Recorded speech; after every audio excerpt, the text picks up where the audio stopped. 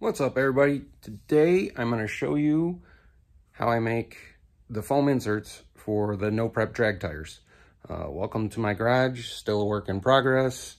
Uh, with tearing my bicep, I'm a little bit behind, so eventually this will get done and I'll be doing a lot of fun projects out here. Um, so without further ado,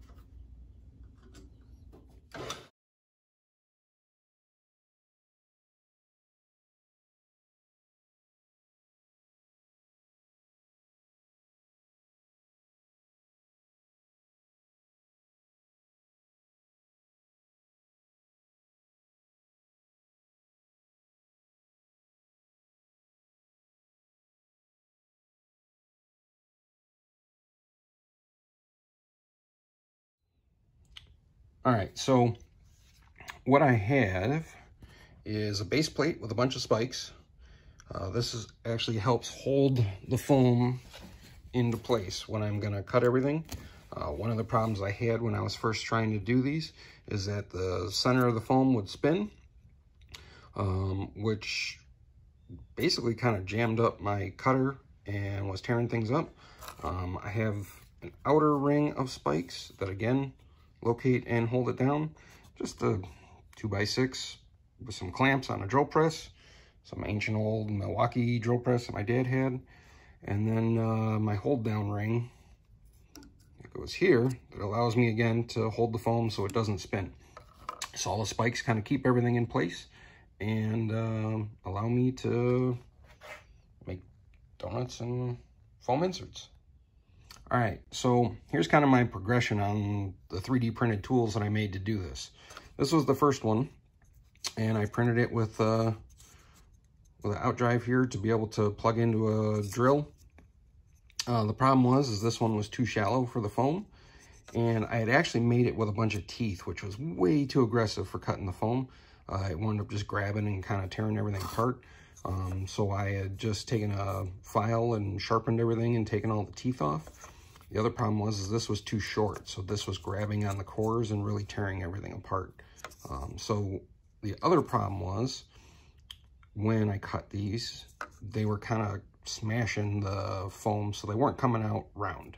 They were kind of tapered on a weird angle, which I thought was just everything getting compressed. So I changed this up and did it different on the second one. The second one, as you see, is very similar to the first one. Um, I did just try putting like a four millimeter screw and nut through. Uh, I did have trouble with it slipping, so that's why my final one, I used a good old 112 scale hub uh, with a couple screws. So it's just an old piece of uh, Delrin body post that's quarter inch with a 12 scale hub clamped on it and bolted together. But the other problem I had was with this one, no spokes or anything, no issues. It was tall enough, but it was deforming uh, still like the first one. So what was happening is, is the core was actually compressing the foam as it cut and went in, and then the outside one was doing the same thing. So by the time it was kind of like compressing itself, it was also tapering it. So I had a bunch of foams that were on kind of a kind of a V look, not a not a nice round foam like I wanted. So that was where I came up with this one. Now this one is kind of hard to tell and I didn't bring another one up with me, but it's on a taper. So actually one second. Okay. So this one, you can kind of see it's not square, it's tapered. So the whole thing kind of flares out. And the reason is so that when you have the core, the core doesn't get smashed. So it just presses right in and there's no compression, compression on the foam. So this way, the core doesn't end up pulling on the foam that you're cutting and end up with this squished kind of tapered look. So I did the same thing on the outside, so it's a little bit hard to tell, but there is a pretty good taper on this. And this is basically just stretching the, stretching the inner foam out and keeping the core fine and kind of stretches the outside out. And this way, so I end up with foams that are pretty straight. Won't focus because of the shadow there, but they're pretty straight. So that's pretty much it.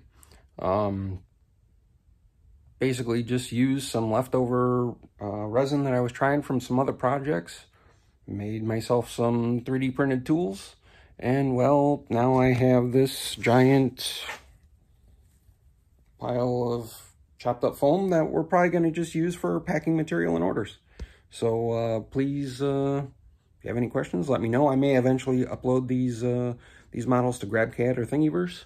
And uh, like, subscribe, share, click the bell for notifications. Catch you later, guys.